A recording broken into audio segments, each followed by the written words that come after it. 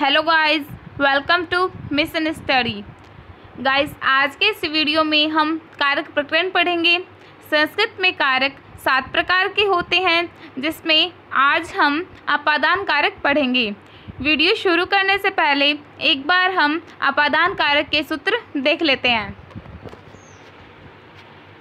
अपादान कारक जिसमें चौदह सूत्र है, जिसका पहला सूत्र है ध्रुवम पाए अपादानम।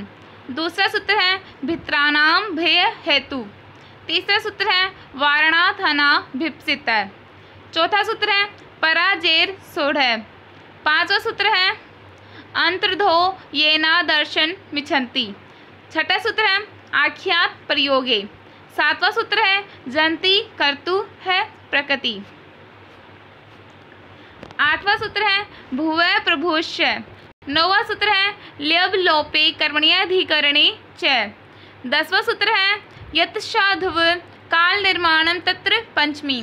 ग्यारहवा सूत्र है अनयरादितेरेत दिक् शब्दयूत्र पदा जा ही युक्ते। बारहवा सूत्र है, पंचमा पाठ परिभि अथवा आंग मर्यादा वचने। तेरहवा सूत्र है, पंचमी विभक्ते। चौदवा सूत्र है पृथक नाना विना योगी, अपि, द्वितीया, तृतीया।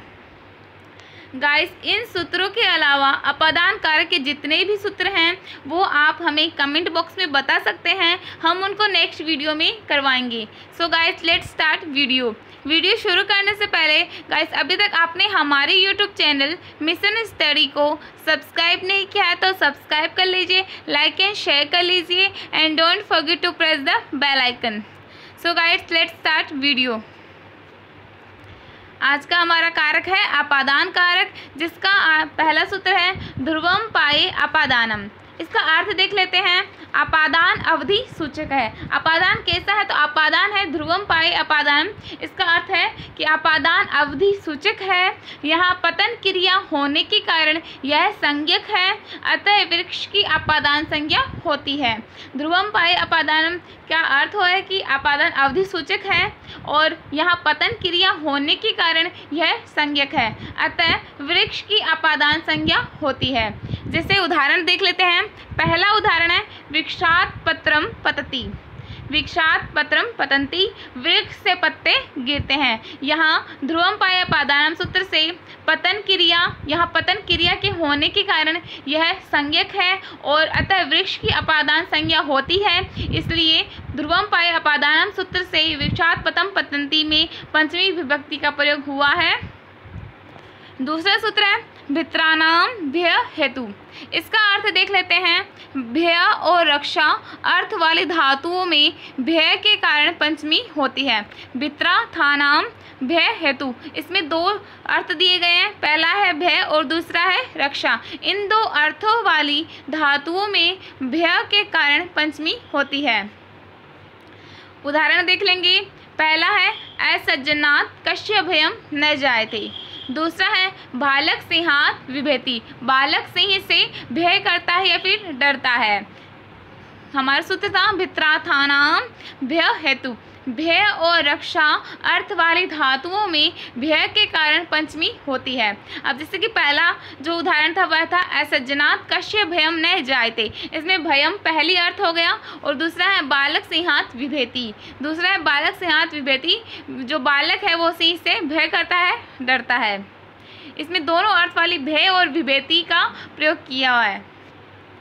तीसरा सूत्र है, वारणार्थ ना भी इप्सित अर्थ इसका अर्थ देख लेते हैं, जिस वस्तु से किसी का वर्ण किया जाता है, अर्थात हटाया जाता है, उसमें पंचमी विभक्ति आती है।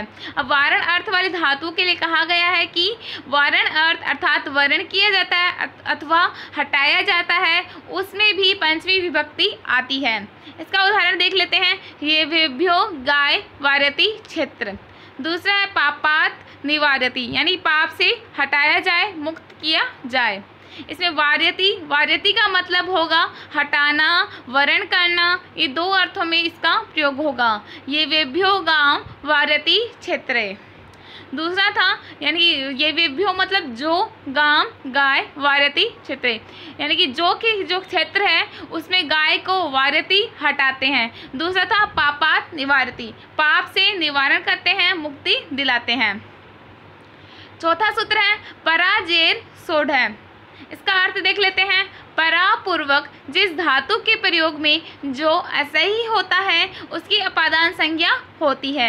जैसे उदाहरण दिया गया है अध्यनाथ पराजयते, दूसरा है शत्रुन पराजयते। अब परा का अर्थ इसमें दिया गया ऐसा ही तो एक बार फिर से देखेंगे पराजय सोडा को। पराजय का अर्थ है कि परापूर्वक जिस धातु के प्रयोग में जो असही होता है, उसकी अपादान संज्ञा होती है। अब परा जो धातु है, उसके प्रयोग में अगर ही होगा तो उसकी अपादान संज्ञा होगी। अपादान का मतलब है पंचमी विभक्ति का प्रयोग होगा। इसका उदाहरण अध्यनाथ परा जयते। यानी कि परा उप धातु है, उसके में असाई कौन है? अध्यनाथ इसका असाई होने के कारण यहाँ अपादान संज्ञा हुई है और पंचमी विभक्ति आती है। दूसरा था शत्रुन पराजय थे शत्रु से शत्रु को पराजित करता है, शत्रु पर परा मतलब परा को जीतता है, यानी कि पराजित करता है। इसलिए शत्रुन पराजय थे यानी कि पराग धातु से पहले असाई कौन है शत्रु है। इसलिए यहाँ पर अपादान संज्ञा होती है और पंचमी विभक्ति का प्रयोग होता है।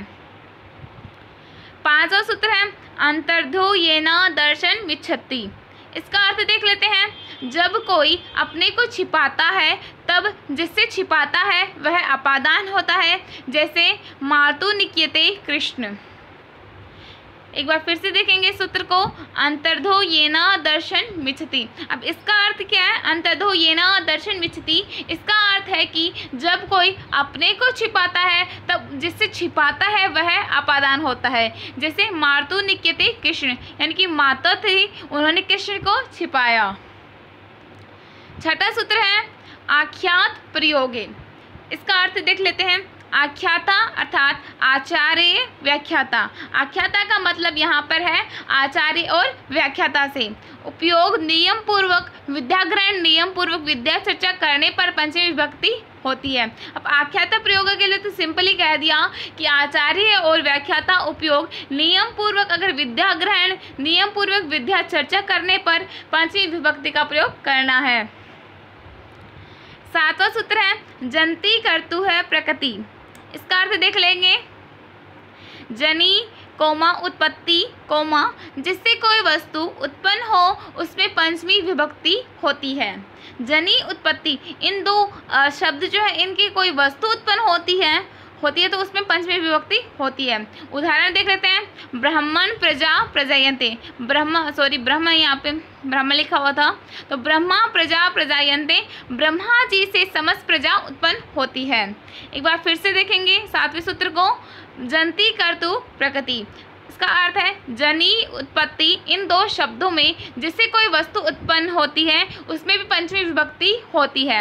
अब उदाहरण था हमारा, ब्रह्म प्रजा प्रजंते ब्रह्मा जी से समस्त प्रजा उत्पन्न होती है। यहाँ उत्पन्न क्रिया होने के कारण ब्रह्म ब्रह्म प्रजा प्रजयंते प्रजयंते में थे, वो है पंचमी विभक्ति है। यहाँ पे ब्रह्मा जी से समस्त प्रजा उत्पन्न हो रही है। उत्पन्न क्रिया होने के कारण यहाँ पे अपदान अपदान संज्ञा होकर इसमें पंचमी विभक्ति का प्रयोग किया गया है।